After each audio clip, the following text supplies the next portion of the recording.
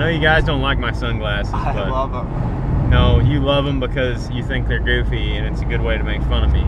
Paid $180 for them. 75 years ago. I got these 13 years ago, so That's Jake would have been Jake would have been literally the same age he is now, which is five. we got super low pressure and windy conditions, kind of warm. All these deer are under the ground. They've all dug holes and they're not coming out. You brought your shovel. No. But I brought Doug Fehrenbaugh's canoe. Doug Zach's dad, by the way. Probably best suited for 30 degrees. Today it's in the mid 60s. We're gonna stop watching these videos if we keep singing. Oh, I'm that. sorry. I'm one of the worst. Oh yeah, dude, looks just perfect. Oops, almost got stuck. Only gotta take it about 30, 40 yards. and We're right, right in the hole.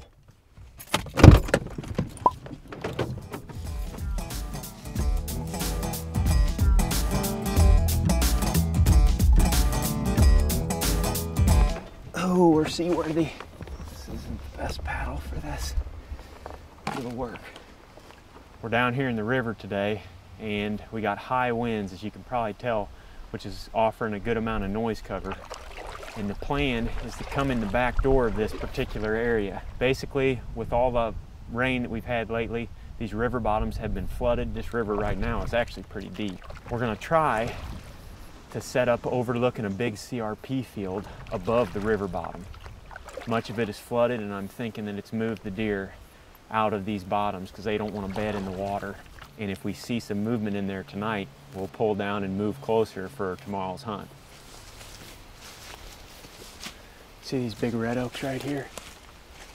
They're dropping, they're falling on this side hill, and deer walking the side hill, browsing on the acorns that are rolling down this hill. See one right here. That's what that big buck that Jake and I put the stalk on was eating a few weeks ago. You can just see where the, all the deer have been right in here, walking this trail along the edge. I'm gonna take this trail in there, try to get to some bedding.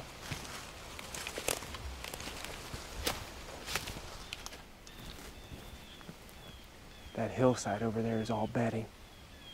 And they're facing this way, watching this bottom. We want to be pretty careful sliding up through here.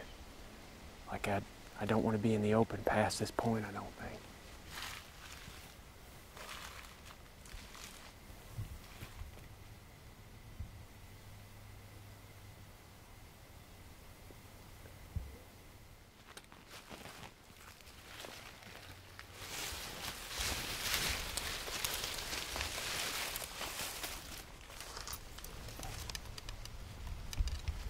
Should be able to see him, he's right there.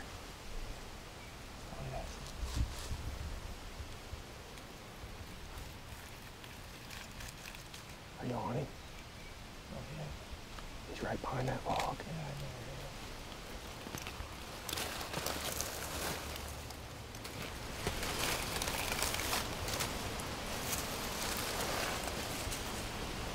You see him? I see him.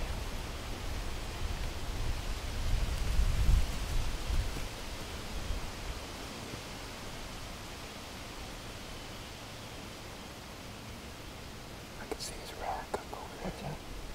I can see his rack over there. Yeah. There he's going to the left. Move your head down here for me.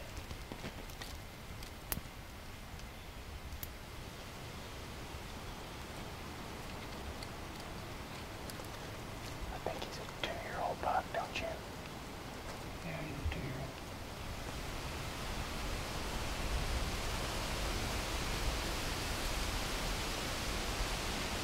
Big chop.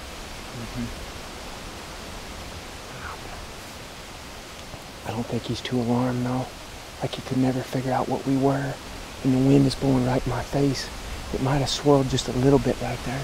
I could have got up, stood, and shot right there. I just was unsure if it was something I wanted to shoot or not, you know. He was pretty deceiving. Like I think it was probably two year old, but he was wide. When I first saw him, he was staring right at me. You can see that wide rack, and I was like, oh, shooter. In that situation, I popped up. I saw him. He was staring down in here because he heard us walking. But I froze, and he gave up on it, and he started walking straight at me. And when he did, he dropped my, he dropped his head, And I, as y'all saw, I ducked and I just scurried back here. I made a bunch of noise doing it, but he couldn't see. And we're right on a deer trail. I'm sure he hears deer walking on this all the time. That's a good sign, though. If there's a buck out there bedded in that edge, there's probably more. We got to get up in one of these trees right here so we can observe a little bit.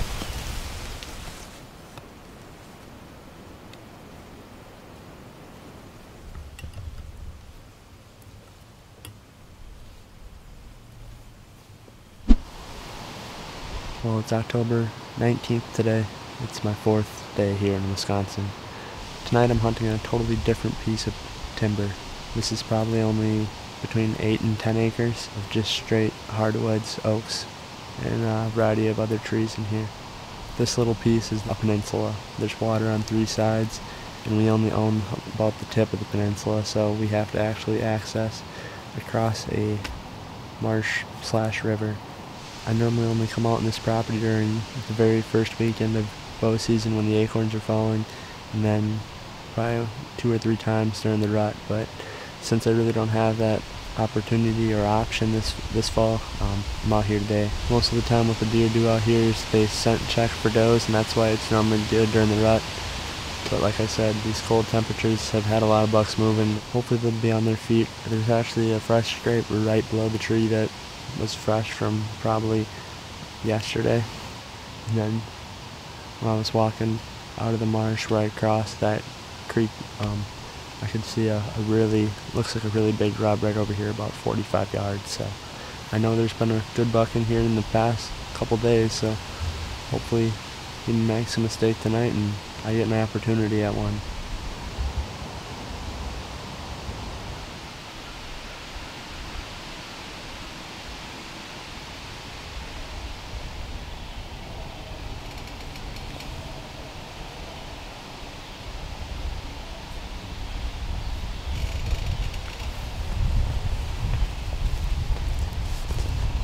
There's a shooter right there. 45 yards, you gotta be kidding me.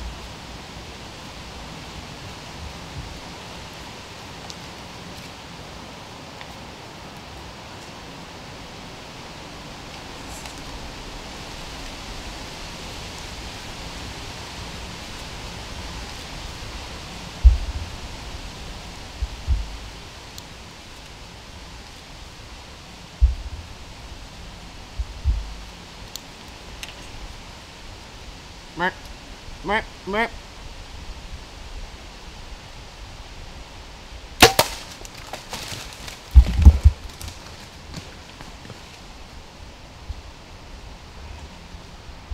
Oh my god. No way. No way. Oh my god.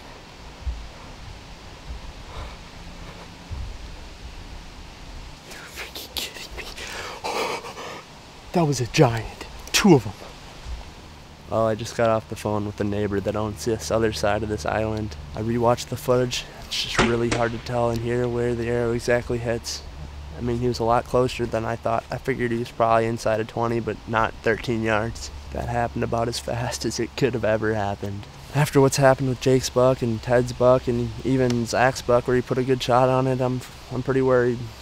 Like I'm really worried. You just keep playing that shot over and over again in your head.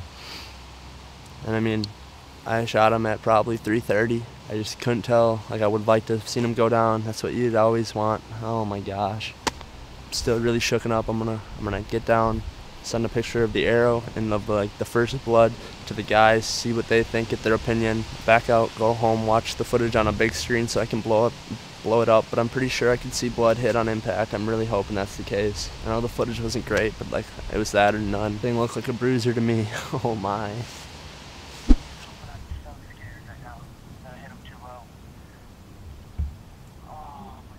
How how high are you in the tree? not very high. 12 feet, 15 feet maybe. I think there's blood, but I can see blood from out there. What? Oh, no way. I think he's choked. I'm looking at the blood trail right now. Aaron, let's see the freaking giant. Logan says he just shot a giant in Wisconsin. We've already seen a doe that was getting bumped around by something running around out there, and Logan called about 20 minutes ago, and apparently he hit one in Wisconsin. But like I mentioned on the way in here, the idea of tonight's sit is to observe this CRP field up here, right behind the tree here. There's a kind of a marshy river bottom type area that has been dry the past few years. In most years, bucks bed down in those willows when it's dry.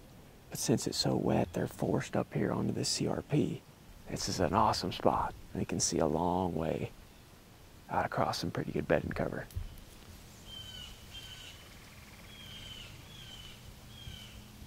Tim. him. That's the same one you've been watching. Oh, there's another deer just stood up out here in this field. Doe. She just stood up behind that cedar in front of him. See her? To the left. Yep. Just had a doe stand up out here in front of us. She was bedded right up underneath one of those cedar trees in the grass.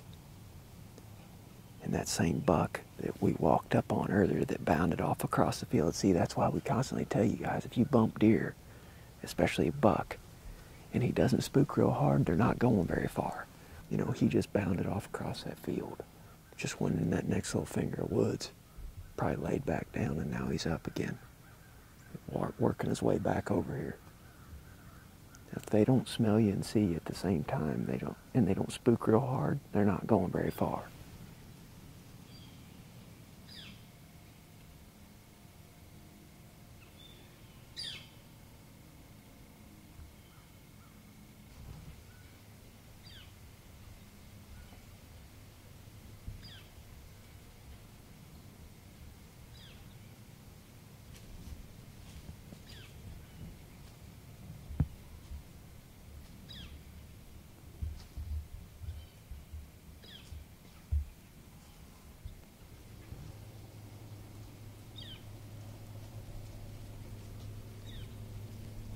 Another deer out in the field.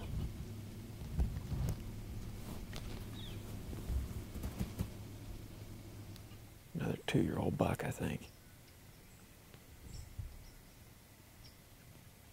He's back up closer to the primary bedding.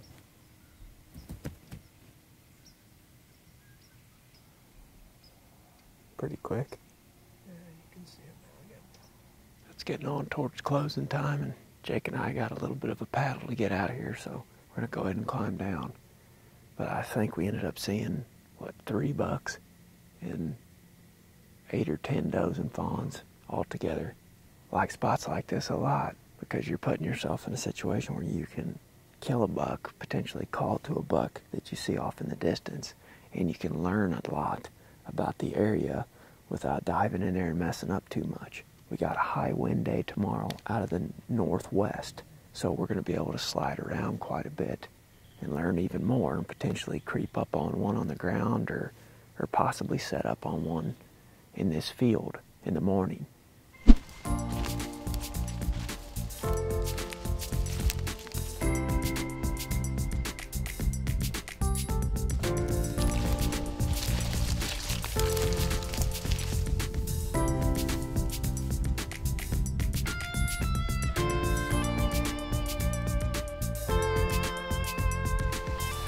Property, or the piece that I was actually hunting was what? How, how much, many acres of hardwoods is out there? 10? Yeah, Maybe? about 10 acres. 10 acres of hardwoods, surrounded by water on three sides and private on the other side. So we crossed that river to get out there. And like, I kind of just went out there on a limb and just hoped for the best. And coming up here to Wisconsin, hunting at my house, hunting at my where I've grown up hunting, shot my first buck out in this property, and just being able to come up here and harvest a bow buck like this is unbelievable to me. I couldn't be happier, honestly. I was really just hoping for a nice two-year-old buck, and just to have this three or four-year-old bruiser come by is just unbelievable.